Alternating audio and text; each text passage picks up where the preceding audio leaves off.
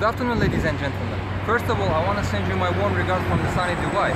And second of all, I want to congratulate you all with a new happy 2018. Today I want to talk about more about ExpoChat, first business messenger of its kind. You have a question, what is ExpoChat? ExpoChat is a professional business tool for all business owners, entrepreneurs, business managers who are searching for the new opportunities and enter for the new markets. ExpoChat is consists out of the three main functions communication part, messenger, finding a potential business people from the global network, list of the profiles of the registered companies worldwide. You can know more about ExpoChat and download it from the Google Play and Apple Store. And I wish you all the success of expanding your business in new 2018. Thank you so much.